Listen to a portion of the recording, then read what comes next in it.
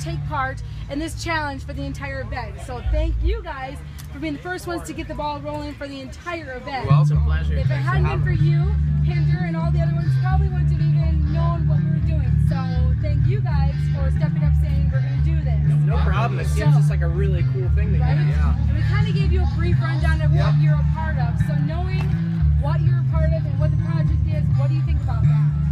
I think it's super cool. I mean, I think, you know, not all of us have enough time to, you know, volunteer and stuff throughout the day, you know, give back. And so when you can, you know, give back in other ways like this, you know, it's really kind of cool.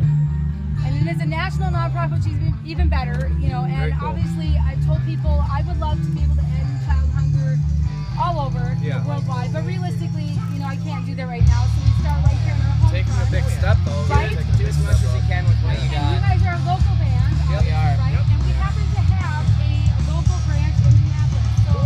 Dr. Henry has a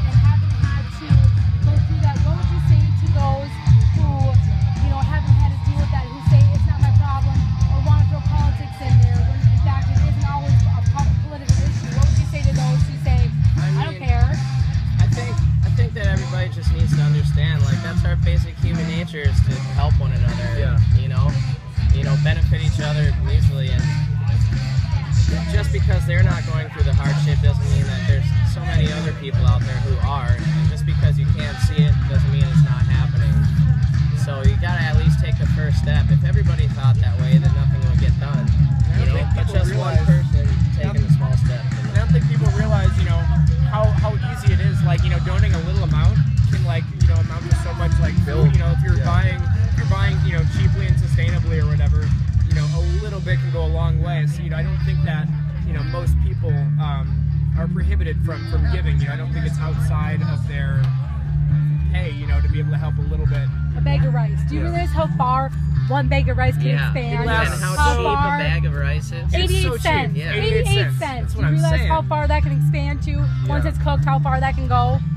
Right. I Those mean, people like that just need to take a step out of their own shoes and like view it from the perspective of somebody else who didn't grow up and wasn't fortunate enough to do all that. So learn empathy too. Empathy. Yeah, and you know, hand-me-downs. I grew up with the hand-me-downs.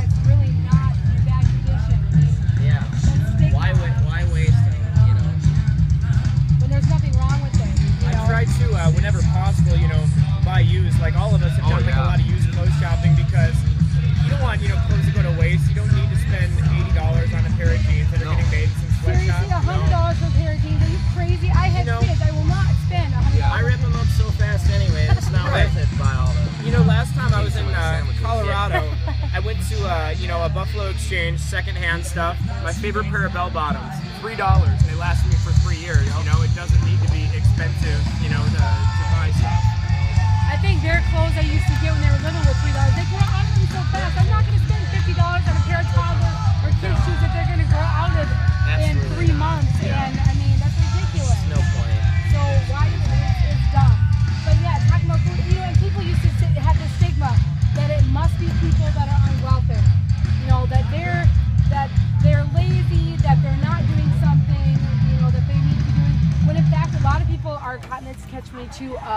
You know, they they try to get help and they're told you make too much, so we're not going to help you. You Yeah. make too much money, you don't need our help, but in fact, they don't make enough to make ends meet. And they may be working two jobs. So, in fact, it's a lot of the middle class who are, are working, Yeah. trying to make ends meet, and they're caught between we need to pay our electric bill or groceries. Do we pay for food or do we pay for our car insurance? So it's not necessarily the ones who are on assistance or, you know, abusing the system Just who need the people. most help. They are working, but yet they still have an issue with You know, it, it, it sucks because like you know the way that it's set up is that you know you can work so many hours at minimum wage and like you can work 50 hours a week and if you're the the, the sole provider for a family sometimes that just isn't enough you know? And if you want to earn more money you know sometimes you got to get an education okay well they make it so hard in this country to like pay for college it's ridiculous you know it's so hard to And once you It's- get it's out hard of to- school, then you have all these extra bills and it's stuff. it's hard to pull pay for. yourself up so you know any help that people can get and is it's the stigma it makes you feel about this big so for a person to ask for help makes them Oh, feel yeah. about this big Nobody. so unless you've been there you don't understand that to ask for help makes you feel very degraded so then nobody wants to ask for help because you feel very worthless you know so then they're not going to ask for help because it's shameful Yeah. Mm-hmm. you know so you know, Shouldn't be though. Should be able to reach out to people when you need help. And we found out, Get No the Kid Hungry did some research and found out that although I'm sure many of you know of like the, the free reduced programs for, for lunch and breakfast for Yeah. school, Yeah. there's a there's a lot of kids, say they're the ones who get it for free, so their parents don't even have to pay it, they just get it for free based on income. There's a lot of kids who aren't even using it because of that stigma. They, they don't want to be seen in the lunchroom getting that breakfast because of that stigma. I don't want to be seen getting breakfast because I will be seen as the poor kid. So now the ones who still need it aren't even getting the help because they don't want to be seen as the poor kid. definitely need to end the Exactly. stigma So now No Kid Hungry and a lot of the other nonprofits are trying to make it where people are, the kids are going to get breakfast across the board, whether they need it or not, whether they're the ones who make enough or not. They're trying to make it where breakfast is served in the classroom all across the board, so that you know the ones who need it get it and don't have that. Oh, we know that you're the you know the ones who need it. So And I feel like the, the general tone, kind of overall, like in, I think that people just get in their mind as something that kind of just is. Everything kind of seems a little bit more passive aggressive, more like if you want help, whether it be through like a government agency or something, it just seems more passive aggressive or shunned when like people just have that image in their mind. And like when you think about it, if someone's like hungry or someone's just feeling kind of crappy, like it comes down to basic human nature. Like they're feeling bad, that we should help them. It comes down to like why not? Why would why is there a stigma for helping someone in the first place? As if they're like as if we're the victims for people being in need. Like Yeah. we, it doesn't need to be this passive aggressive approach. Yeah, and, and why why do you have exactly you help somebody? Then it's like, why'd you do that? Why'd you help them? You know? And it just I What's feel like with you? people just have that in their mind. I feel like that's the biggest thing is just the mindset where people think, oh, this just is. This is just the way it is. This is the way you think. But the thing is, you kind of got to question like, why? Why? Why is this making people angry that someone's someone's in a crappy another person. situation and you're trying to help them out? Situation. Maybe some people worked 20 years and got laid off. Maybe they never Oh, needed yeah. help.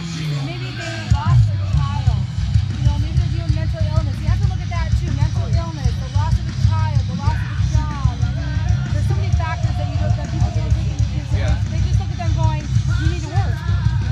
Okay, well,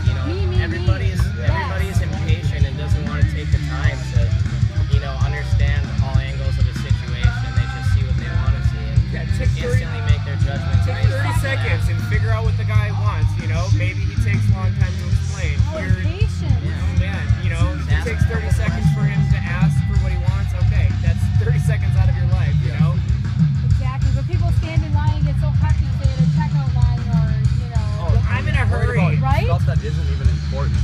and just so so dumb. happy about it.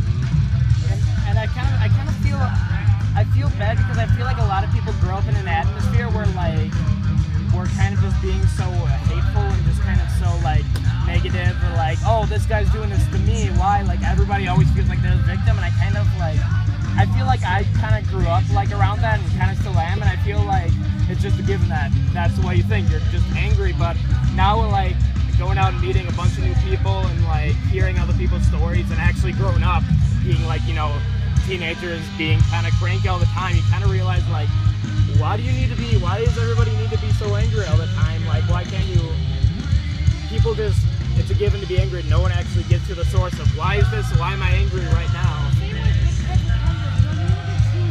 You know, and Jade, I bring my kids along and they get a good experience from it. Not that they don't get to meet bands, which is awesome for them, but they get to learn the experience and hear the stories too. And you look at teens and they have a bad stigma.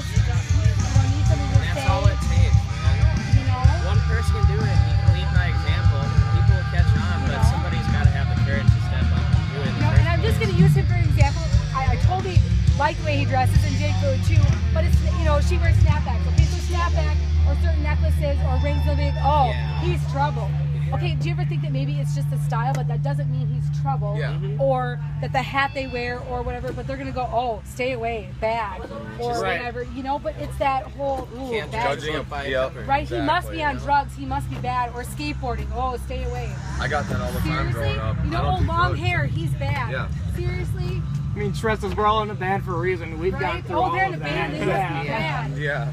Are you kidding me? And that's what's so great about I feel like festivals with this. People kind of I feel like people can just get a break where everybody's kind of on the same page Yeah, here to have fun. I feel like But I mean, that's what I like. I like bringing the kids, and we don't. I've taught my kids not to stereotype, not to judge. Yeah. And they love it. We listen to all different types of music, and they listen to Ozzy, and they listen to Yeah. ICP. The school had a fit about that because they rolled up singing Juggalo, ah. right? School hated that. They're singing Juggalo and Boogie Woogie Woo, and the school hated it. I don't care, you know. But there's that stereotype of then my kids are bad, and the teachers are going, you should sing something different. I think that people sometimes confuse the cause and effect with music. They're saying like, you know, somebody uh, you, you listen to this gangster rap music or whatever, you know, that's that's gonna be trouble. Okay, well, you ever stop to think maybe it's the other way around? Maybe they've had trouble and this is their release. That's how they can get it out of their system. Exactly. You know See? I'm saying? I wish I could turn the camera around right now and show the look on her face. Yeah. Because that's their like people are like, release. Don't uh, don't listen to, to heavy metal. It's gonna make you violent. It's like, well, I would rather have somebody take out their you know aggression on in their headphones, just be angry for a while, or take it out in a mosh pit rather than on the street beating people up. You know? Yeah. And that's how it It's is a with release. a lot of music. That's how she Those is. kids, Yeah. you know, kids are somebody who are having issues and aren't getting, you know, any sort of support from, you know, the people in their lives. That's that's the good thing about music is they can turn to that. It's always there. You know, to connect on supply some of point. They can, Yeah, we have our screaming, angry music when we're just so, oh, nobody gets me, Yep. you know. But even if they do and they still feel mad, you have that angry music. that's, Yeah. that's Let why them we're have the doing. release You know, and versus, it's, why we're you it's know. funny how it's like so unique to like to like music because people will uh, you know like like parents and stuff will go see like a Quentin Tarantino movie where 120 people are shot. You see a Michael Bay movie where the entire city is blown up. Really? Are you gonna go shoot 120 people right now? Like it's not. It's enjoyable. We all have that you know primal release. We have that primal urge deep down to see shit blow up. We want. Yeah, We just want to we want to see some chaos, you know, and that doesn't, you know, we get it out of our system. You know, you're not gonna actually go blow up a bus way or or something, another, yeah. right? One way or But there's something about music that everybody can resonate with. Oh, whether, absolutely. whether it's country or rock or metal or whatever, there's just something about music that everybody can relate to. There's a song for everything, for every mood, and it's just, Totally. you know, helps everybody, you know. That's why we're doing what we're doing. Right? I think that's the reason for me. Like everybody kind of, I feel I feel like with music for me that like it makes me happy because I feel like you're going directly to the source. Like if you think about it, it's, it's a bunch of sounds that make you like happy. The reason why you do a bunch of things is because oh it makes it makes you happy, makes you feel good. Like you're going straight to the source with music. Like you play the sound and then you get feelings, and I feel like that's that's awesome. Yeah. Just like that's why I do it because I want to be happy, and then it's that's what makes people happy. So I mean,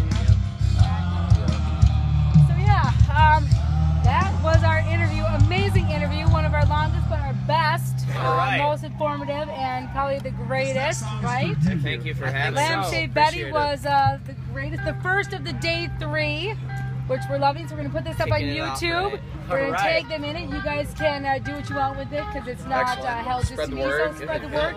So remember, no kid hungry. They just helped raise a thousand meals for a child hungry in the U.S. Woo! Local, right? Minnesota. All right. All right. So awesome. Love to. Thanks for having us, Monica.